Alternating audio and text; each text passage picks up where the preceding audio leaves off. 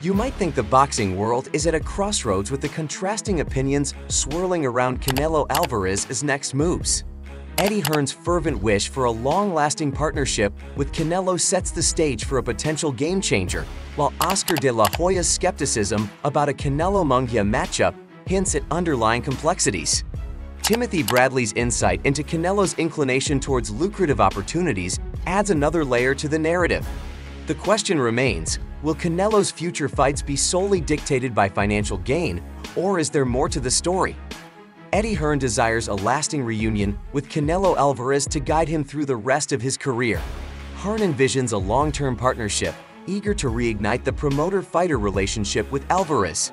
He's keen on collaborating with Alvarez for his upcoming fights, recognizing the competitive spirit that drives Alvarez to seek ambitious opponents. Hearn sees the potential Jaime Munguia fight as a strategic move in Alvarez's journey, indicating a thoughtful approach to selecting future matchups. By expressing his interest in working closely with Alvarez, Hearn aims to provide the support and strategic guidance needed to navigate the challenging landscape of boxing.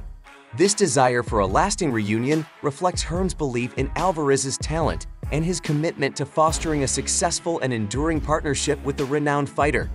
Amidst uncertainties surrounding Canelo Alvarez's potential bout with Jaime Munguia, Oscar de la Hoya's reservations highlight the complexities of navigating Canelo's star power within the matchmaking process. De La Hoya's doubts stem from the challenges posed by Canelo's significant influence over matchups, making it difficult to secure the fight with Munguia. Despite his determination to see the Canelo-Munguia fight materialize, negotiations are proving to be arduous due to Canelo's star power.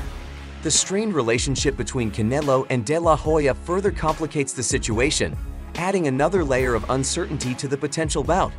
De La Hoya's current focus on promoting Haney versus Garcia in April suggests that he's unsure about whether Canelo will indeed face Munguia next. The uncertainties and complexities surrounding Canelo's star power present significant challenges in making the Canelo Munguia fight a reality, leaving the boxing world eagerly awaiting further developments. Timothy Bradley predicts that Canelo Alvarez's fight choices will primarily prioritize financial incentives. Bradley suggests that Canelo's decisions will be influenced by the monetary aspects of potential matchups. Canelo's motivation to follow the money is highlighted by Bradley's analysis, indicating that financial considerations will play a significant role in Canelo's next moves. The influence of lucrative opportunities on Canelo's decision-making process is emphasized by Bradley's perspective. According to Bradley, Canelo is likely to lean towards fights that offer substantial financial rewards, shaping his selection of opponents in the boxing ring. Bradley's prediction underscores the importance of monetary gains in Canelo's strategic planning and career trajectory. As Canelo navigates his future in the sport, the lure of lucrative opportunities is expected to heavily influence his fight choices, driving his decision-making process towards bouts that promise substantial financial rewards. Canelo Alvarez's future opponents are sparking speculation, with Eddie Hearn suggesting potential matchups that promise to challenge the boxing champion. Hearn has highlighted Edgar Berlanga and Jaime Munguia as potential challengers who could provide exciting fights for Canelo. Alvarez, known for seeking opponents who push him beyond his limits, seems interested in facing competitors like Munguia, especially after his impressive performance against John Ryder. Hearn's understanding of Canelo's preference for challenging opponents influences his choices for future fights. The potential matchups with Berlanga and Munguia offer different styles and challenges that could test Canelo in unique ways.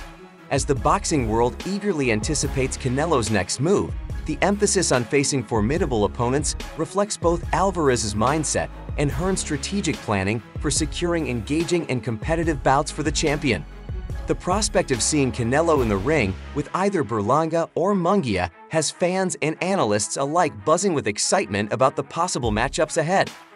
Financial considerations heavily influence Canelo Alvarez's decision-making process when it comes to selecting his next opponent and negotiating fight deals.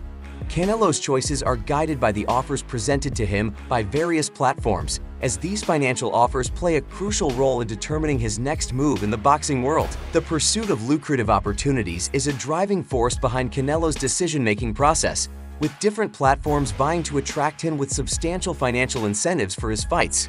Bradley's insights underscore Canelo's tendency to prioritize financial gains when deciding on his next fight, indicating that the financial factor holds significant weight in Canelo's considerations. In the competitive landscape of boxing negotiations, Canelo's decisions are often swayed by the financial rewards offered, showcasing the pivotal role that financial considerations play in shaping his future opponents and fight deals. In conclusion, the varying opinions on Canelo Alvarez's next moves highlight the complexities of decision-making in the boxing world. Eddie Hearn's desire for a long-term partnership, Oscar de la Hoya's doubts on potential matchups, and Timothy Bradley's prediction on Canelo's priorities all offer insight into the different factors at play.